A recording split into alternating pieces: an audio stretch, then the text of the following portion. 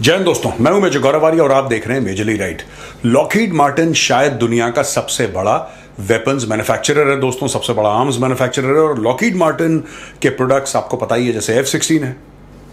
आपने सब सुना है उसके बारे में एफ़ ट्वेंटी टू रैप्टर के बारे में आपने सुना है एफ़ थर्टी फाइव लाइटनिंग के बारे में आपने सुना ये सारे के सारे जो प्लेटफॉर्म्स हैं आइकॉनिक प्लेटफॉर्म्स हैं these are among the finest aircraft in the world सारे के सारे बनाता है लॉकहीड मार्टिन, लेकिन लॉकहीड मार्टिन और भी कई चीज़ें बनाता है। ये नेवल सिस्टम्स भी बनाता है। तो लॉकहीड मार्टिन का बहुत एक बड़ा मामला है, दुनिया का सबसे बड़ा अगर मामला है कोई आर्म्स मैन्युफैक्चरिंग का, वो लॉकहीड मार्टिन का। यहाँ पे लॉकहीड मार्टिन के CEO Jim Taiclet I hope I am pronouncing this correctly Jim Taiclet ये मिले प्रधानमंत्री मोदी जी से और मोदी जी ने इनकी तारीफ़ करी और बोला कि साहब, आप रियलाइज़ कर रहे हैं या आप उसको सच बना रहे हैं उसको सामने? Vision of make in India make for the world अच्छा जी। ये मीटिंग क्यों इंपॉर्टेंट है दोस्तों? ये क्यों इंपॉर्टेंट है? आ, मैं आपको बताता हूँ। ये बोला प्राइम मिनिस्टर मोदी ने कि we welcome its commitment towards realizing the vision of make in India make for the world और लॉकहीड मार्टिन ने फिर एक्स पे जाके जो पहले ट्विटर था वहाँ पे जाके लॉकहीड मार्टिन के सीईओ जिम टेस्लेट या टेकलेट जो भी इसका नाम है ही joined prime minister Modi as a trusted partner Over three decades, we recognize the promising talent and capabilities of local industry and remain committed to strengthening defense, blah blah. एक उन्होंने एक औपचारिक टाइप का बयान दे दिया। अच्छा मैं आपको ये एनालाइज करके बताऊँगा ये मीटिंग क्यों इंपॉर्टेंट है वो मोदी जी से मिले लॉकहीड मार्टिन के सीईओ लेकिन उसके पहले मैं बता दूँ ये जो लॉकहीड मार्टिन कंपनी है दोस्तों इसने टाटा एडवांस सिस्टम के साथ एक जॉइंट वेंचर सेटअप करा है और ये मैन्युफैक्चर करते हैं सी वन थर्टी जो ट्रांसपोर्ट एयरक्राफ्ट है, उसका एम्पनेज एम्पनेज क्या होता है दोस्तों की जहाँ पे टेल होता है एयरक्राफ्ट का, उसका जो सरफेस होता है, उसको स्टेबलाइज करने के लिए दैट इज़ कॉल्ड एम्पनेज तो ये मैन्युफैक्चर करते हैं एम्पनेज हैदराबाद में और C one thirty transport aircraft ये इंपॉर्टेंट पार्ट है। इंडियन एयरफोर्स के फ्लीट का the company successfully produced and delivered more than 200 empennages while also increasing the proportion of locally sourced components Lockheed Martin ये जो मैन्युफैक्चर ऑफ़ हेलीकॉप्टर केबिन्स हैं Lockheed Martin के helicopter की cabins ये पहले Japan में बनाता था, जापान से इंडिया यानी कि लॉकहीड मार्टिन भारत को ये कह रहा है कि भाई देखो ऐसा है, धीरे धीरे धीरे हमने यहाँ पे मैन्युफैक्चरिंग आपने हमें ठीक है, आपने कॉन्ट्रैक्ट हमें पास्ट में दिए और हम इतने सालों से आपके साथ काम कर रहे हैं, आपने वो कॉन्ट्रैक्ट हमें नहीं दिया जो हमें चाहिए था। हमें चाहिए मोटा वाला कॉन्ट्रैक्ट बेसिकली मैं बता रहा हूँ, सबको रेफेल खटक रहे हैं। अब मैं एनालिसिस पे आ जाता हूँ, सबको खटक रहे हैं रेफेल सबको परेशानी हो रही है रेफेल से। क्योंकि जब हमने 36 रेफेल ऑर्डर करे ठीक है दोस्तों? ये बड़ी खतरनाक सी बात है। बहुत खतरनाक सी बात है ये, और मैं बोलूँगा नहीं आपको, लेकिन मैं आपको बताता हूँ कि जब रेफेल का कॉन्ट्रैक्ट आया और रेफेल को फाइनल भारत ने बोला कि छत्तीस एयरक्राफ्ट हम आपसे लेंगे, कहाँ कहाँ लोगों के दिल जले हैं साहब, कहाँ कहाँ छुरियाँ चली हैं, कहाँ कहाँ आँसू बहे हैं, किसी दिन आप और मैं अदरक की चाय एक आपके हाथ में होगी, एक हमारे हाथ में। ठीक है? फिर मैं आपको बताऊँगा अकेले में कैमरा पे नहीं। ये रफेल हमारे लिए बहुत ज़रूरी था। ये रफेल जो आए हमारे छत्तीस, ये हमारे लिए बहुत ज़रूरी थे, बहुत ज़्यादा क्रिटिकल थे इमरजेंसी थी। लेकिन यार प्राइवेट कंपनी तो प्राइवेट कंपनी होती है। फिर प्राइवेट कंपनियों ने बोला कि नहीं, हमें मिलना चाहिए था।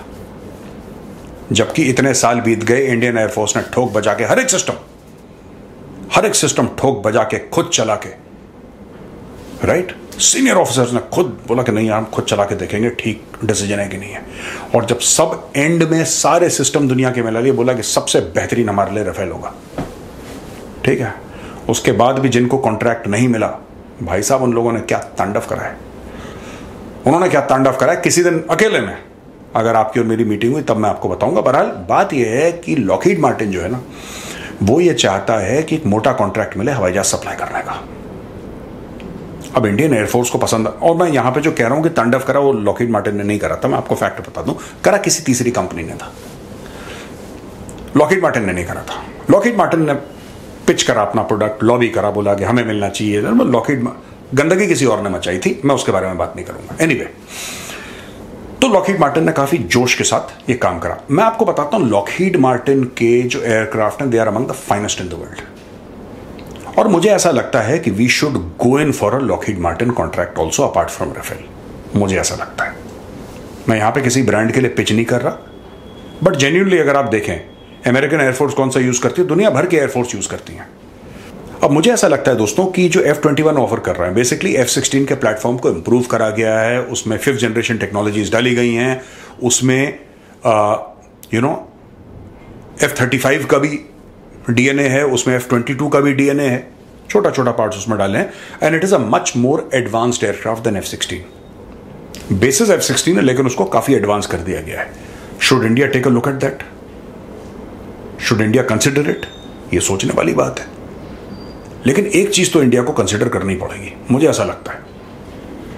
वो मैं बाद में you know I will try and record Chanakya dialogues Hindi में। एक करूँगा, इसके ऊपर। ठीक है ना? चाणक्य डायलॉग्स हिंदी में ज़रूर करूँगा दोस्तों, लेकिन अभी के लिए मैं आपको सिर्फ़ ये बताना चाहता हूँ कि जो एफ़ थर्टी फाइव है ना fifth generation aircraft India does not have it Bharat के पास कोई भी फिफ्थ जनरेशन एयरक्राफ्ट नहीं है। चाइना के पास already fifth generation aircraft deployed है, तिब्बत में फेसिंग इंडिया और लाइन ऑफ़ एक्चुअल कंट्रोल के डेढ़ सौ किलोमीटर पीछे बस। और फिफ्थ जनरेशन एयरक्राफ्ट के लिए डेढ़ सौ किलोमीटर उतना ही दूर है जितना इस कमरे से रिसेप्शन ये रहा। बस ये रहा। ऐसा है। और वहाँ पे उन्होंने जे ट्वेंटी जो उनकी फिफ्थ जनरेशन है, उन्होंने तिब्बत के प्लेटू में डिप्लॉय कर रखे हैं। They are facing India Bharat के पास फिफ्थ जनरेशन एयरक्राफ्ट आज की तारीख में नहीं है। एएमसीए बन रहा है। एएमसीए बनेगा। जब एएमसीए बनेगा, तब एएमसीए एयरफोर्स में आएगा, तब एयरफोर्स में इंडक्ट होगा, उसकी ट्रेनिंग होगी। और जब तक ये सब होगा, आपको एक और बात बताऊँ? चाइना ने सिक्स जनरेशन के ऊपर काम शुरू कर दिया सिक्स जनरेशन के ऊपर ऑलरेडी चाइना ने काम शुरू कर दिया। हमारा फिफ्थ आया भी नहीं है। ये खतरा तो है यार। ये भारत के लिए खतरा है और अगर हमें लॉकेट मार्टिन में लॉकेट मार्टिन का नाम इसलिए ले रहा हूँ क्योंकि ये न्यूज़ बताती कि प्रधानमंत्री मोदी जी से मिले हैं, मुझे ऐसा लगता है कि डिफेंस मिनिस्ट्री को कम से कम एयरफोर्स को डायरेक्टली बात करनी चाहिए। कि बॉस ठीक है, आप एफ़ ट्वेंटी वन का काम तो चलाओ चलाओ। जो आप एफ़ ट्वेंटी वन की बात कर रहे हो पिच कर रहे हो okay but also F thirty five आपको चाहिए चार पाँच स्क्वाडन एफ़ थर्टी फाइव के। और जितनी जल्दी वो दो तीन साल में दे सकें, कम से कम एक स्क्वाडन दे दें, दो। At least you can start deploying on the Chinese border because अगर चाइना को किसी एयरक्राफ्ट से डर लगता है रफेल से भी डर लगता है वैसे चीनियों को। That is also four point five generation ना रफेल लेकिन दोस्तों, आपको चाहिए यू रिक्वायर फिफ्थ जनरेशन और एमसीए का चलने दो साथ साथ में क्योंकि ऐसा तो नहीं कि आपने आज चेक काट के दिया अमेरिका को तो कल से वो एफ़ थर्टी फाइव आने लगे। वो उनका एफ़ थर्टी फाइव में भी चार पाँच साल लगेंगे। जब तक उनके एयरक्राफ्ट आएँगे, तब तक आपके AMCA का प्रोटोटाइप तैयार हो जाएगा। जब तक वो सेटल होंगे, तब तक उनकी मैन्युफैक्चरिंग तो एक के बाद, एक के बाद, एक आता रहेगा। तो हमारी स्क्वाडन स्ट्रेंथ यार 42 होनी चाहिए। मुझसे तो एक सीनियर एयरफोर्स ऑफिसर मैं उनका नाम नहीं लूँगा, वो मुझसे कह रहे थे कि, गौरव, हमारी स्क्वाडन स्ट्रेंथ एक्चुअली 42 तो ऑथराइज है, इसलिए हम 42 कोट करते हैं। It should be much above that we require more air assets right लेकिन फ़िलहाल के लिए चलो authorize forty two forty two पर बात करते हैं भाई। आज की तारीख में वी हैव अराउंड थर्टी या थर्टी टू ऐसी कुछ है। Thirty we are we are very short on squadron strength we need these aircraft and Lockheed Martin is मुझे ऐसा नहीं लगता कि वेपन्स मैन्युफैक्चरिंग में लॉकिड मार्टिन से को बड़ा नाम है दुनिया में। Lockheed Martin is at the top so we should definitely engage और मुझे लगता है कि कोई मतलब होगा ज़रूर जब पीएम मोदी से मिल चुके हैं वो। अगर वो प्रधानमंत्री मोदी से मिले हैं उनके सीईओ तो कोई बड़ी बात होगी।